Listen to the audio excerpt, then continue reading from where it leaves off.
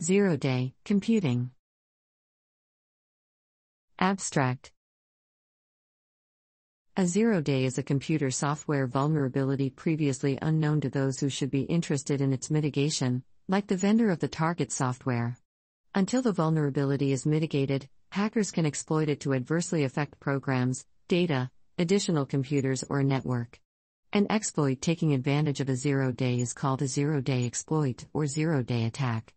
The term zero day originally referred to the number of days since a new piece of software was released to the public, so zero day software was obtained by hacking into a developer's computer before release.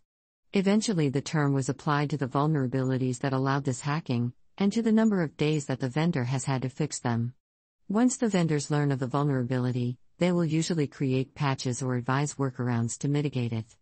The more recently that the vendor has become aware of the vulnerability, the more likely it is that no fix or mitigation has been developed.